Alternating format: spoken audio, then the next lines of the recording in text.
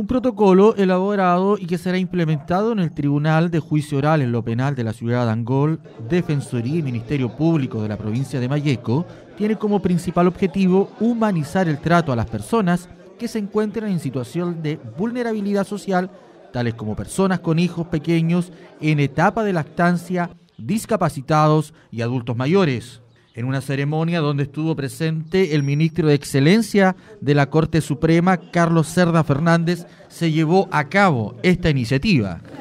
Las personas eh, normalmente en la vida tienen problemas. No siempre lo pueden solucionar entre ellas. Y entonces se hace necesario que alguien fuera del conflicto, en este caso los tribunales, puedan eh, escucharlas y ayudarlas a prestarle solución. Cuando esa persona está en una situación vulnerable, entonces ese servicio que siempre es trascendental eh, se hace mm, eh, más exigente en cuanto al cuidado que hay que tener con ese usuario en situación vulnerable. En este caso particular,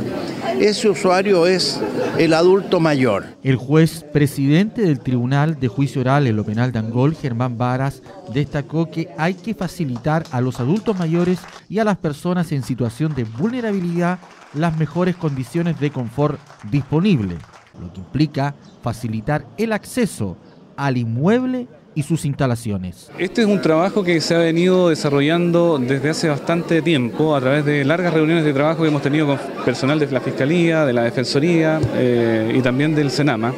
Y se ha concretizado hoy día en una unión de voluntades donde nos hemos puesto de acuerdo para principalmente visibilizar a personas que al acceder a la justicia encuentran obstáculos, es decir, no lo hacen en condiciones de igualdad que el ciudadano común. Y ahí hemos visibilizado a personas de la tercera edad, adultos mayores, personas eh, eh, eh, con alguna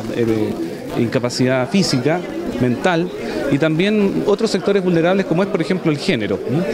Tratamos a través de tres ejes de poder darles prioridad en la atención, que puedan ellos acotar lo más restringidamente los tiempos de espera en, en los trámites distintos que vengan a hacer acá en el tribunal en segundo lugar, eh, tratar de hacerles eh, más eh, humana la espera, en el sentido de poder proporcionarles algún refrigerio, algún medio de entretención, cosa que a veces las horas de espera que tengan que, hacer en este tribunal sea más confortable. Pero principalmente, y como lo pone el acento el ministro, es de mejorar el trato de ellos, es decir, hacerles un trato diferenciado precisamente por la condición de vulnerabilidad que ellos tienen. Ustedes deben pensar de que en lo formal todos somos iguales, pero en la materialidad, lo sustancial, no lo somos. Es el Senama quien se debe comprometer a generar instancias de capacitación a los funcionarios, a los guardias, jueces, fiscales y defensores que se desempeñen en los estamentos que han formado parte de este convenio con la finalidad en la temática de trato y necesidades que presenten sobre todo los adultos mayores.